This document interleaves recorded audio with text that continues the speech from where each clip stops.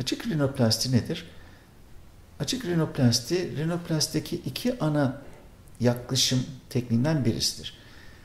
Yalnızca burun ucundaki birkaç milimetrelik bir kesi eklenmişse biz buna açık rinoplasti diyoruz. Eğer böyle bir kesi yoksa ona açık rinoplasti diyemeyiz. Bir, açık rinoplastinin temel özelliği burayı açarken hemen üstündeki burun ucu bölgesini çok rahatlıkla artık e, istediğiniz işi yapabilmenizdir. E, bu başka bir hiçbir teknikle elde edilemediği için açık rinoplasti adını verdiğimiz bu tekniği yaparız.